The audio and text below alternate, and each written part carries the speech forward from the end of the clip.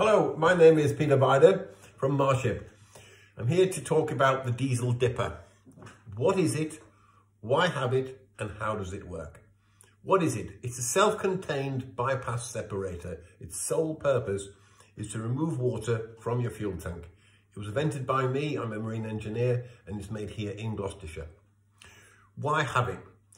Water is a serious problem in modern diesel, gas oil, A2 red diesel, whatever you call it. Water collects at the bottom of the fuel tank. What happens then is it sits and forms a mildly acidic layer between the fuel above and the water below, so it sits there. That mildly acidic layer causes rapid degradation or accelerated degradation in the fuel above. It will reduce the lubricity of the fuel modern day diesel already has reduced lubricity because of the removing the sulfur. So it's going to make that worse. It rusts the fuel systems and it will rust the steel tank. And above all, it will harbour diesel bug and that will definitely stop your engine. The dipper is designed to suck from the very bottom, very bottom of your fuel tank, below the fuel suction. You can imagine when you're at sea and your engine is running, and the vessel is pitching and it's rolling.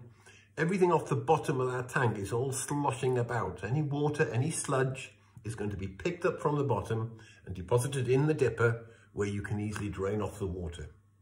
Let me show you how it works. This is the dipper. It's a very simple piece of kit, which is important. Simple is best. This here is the separator. Inside here are baffles and swirl chambers. The fuel enters through the top, this port here, goes into the separator.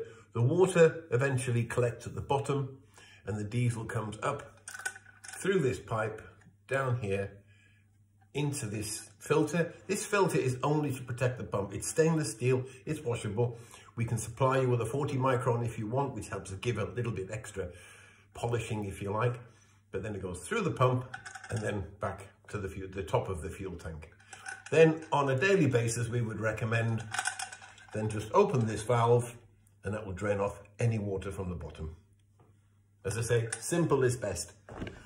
You may have a separator on your engine already that will be sitting between the fuel tank and your engine. Very, very good, very good to have and don't get rid of that filter. But we, we see those now as more of a indicator. If you're having water in your separator bowl, you've got a much more serious problem below the fuel suction. Anyway, have a look at the videos and there's animation on our, on our Marship website.